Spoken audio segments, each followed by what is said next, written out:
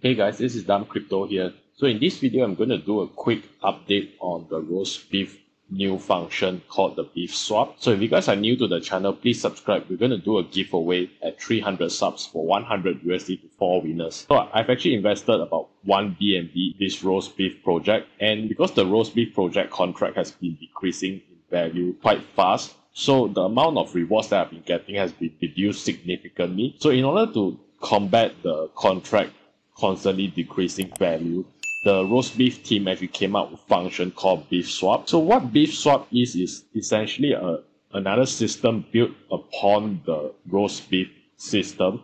And in this system, what you're going to do is that you're going to buy and sell burgers right here. And these burgers, they are in a limited amount of supply. So whenever you buy and sell burgers, it's going to buy and sell tax. And 5% of those tax goes to the treasury. What this treasury does is that it starts to collect BNB and it will feed the BNB back into the roast beef project. So increasing the contract value ever so slightly. So you can see that through this um, burger system, they actually have generated about 1,800 plus BNB in this contract balance in the burger contract balance. So whenever you buy and sell this burger token, you this burger they actually have a price and you can actually generate B you, you can actually generate a BNB through the buy and sell process of this beef swap uh, burger token. So how it works is that every time there's a buy and sell transaction, that transaction will be taxed and part of it will go to the treasury and some part of it will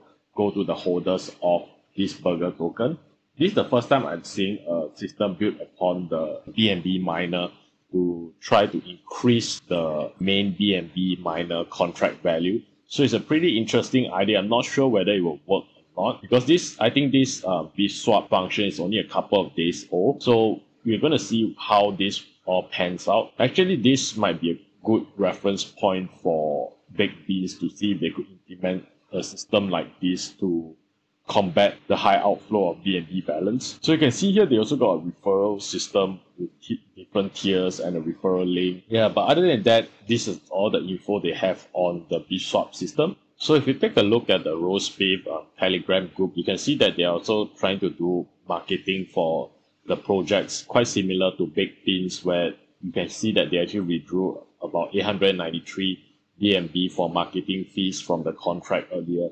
And and then they will announce more marketing plans in the upcoming days. So I think so yeah, so this so this is a quick update on the roast beef project. So if you guys like the video, please give the video a thumbs up and anybody that's new, please subscribe and help our channel to grow. Thanks for watching.